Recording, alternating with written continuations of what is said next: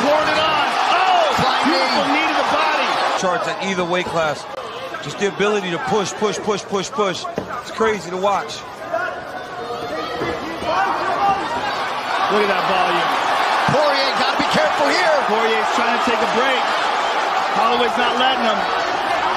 He won't let him breathe. Dustin's tired or so it would appear. Yes, he is. Poirier wants a break.